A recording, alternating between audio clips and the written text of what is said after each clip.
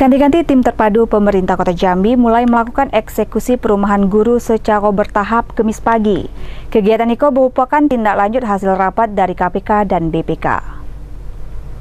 Tim terpadu pemerintah Kota Jambi mulai melakukan eksekusi perumahan guru secara bertahap Kemis pagi. Selanjutnya perumahan guru yang berada di kawasan Mayang Manggurai dan Patimura ditertibkan.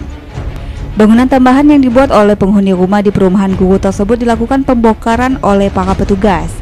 Tidak hanya itu, penertiban juga dilakukan bagi penempatan yang tidak sesuai dengan peruntukannya dan sudah beralih fungsi.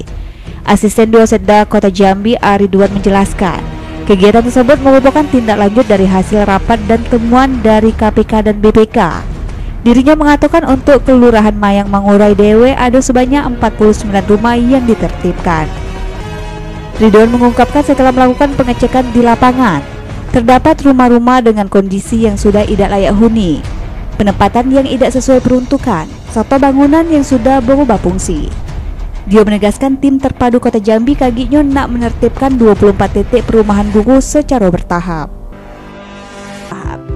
Kegiatan hari ini kita menindaklanjuti hasil rapat dan temuan kita dari KPK termasuk BPK Ya untuk penertiban pembongkaran ini itu kita mulai di Kelurahan Mayang ini. Ada 49 unit rumah. Ya setelah itu kita akan bergeser ke Kenali Besar.